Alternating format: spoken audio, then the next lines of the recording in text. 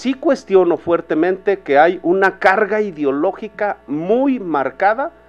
uh, de acuerdo al gobierno eh, de México. Por ejemplo, señala que en el 2016, en el libro, si no mal recuerdo, de quinto grado, hubo un fraude electoral, pero no con verdades definidas por un gobierno específico. Y a mí me parece, más allá de entrar al debate de si hubo fraude o no, los tribunales dijeron que no,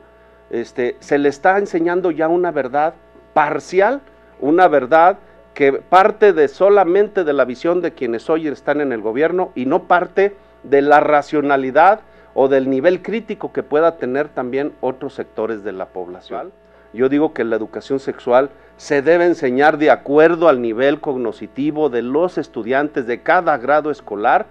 y sin prejuicios y sin tapujos y sin dogmas con una visión científica. Y me parece que la forma en como lo están mostrando en estos nuevos planes y programas de estudio a través de los libros de texto a una visión hasta pueril o lúdica porque les pide que hagan maquetas cuando lo que necesitan de hacer los estudiantes es concebir según su edad, pues el entorno natural, social y por supuesto el sexual, el de la educación sexual que le compete a cada uno de los grados. Y que por lo tanto estarán condenados, hasta por el, el tema o el criterio de temporalidad, estarán condenados al fracaso. Y eso va en detrimento de la educación de las niñas, de los niños y de los adolescentes de nuestro país.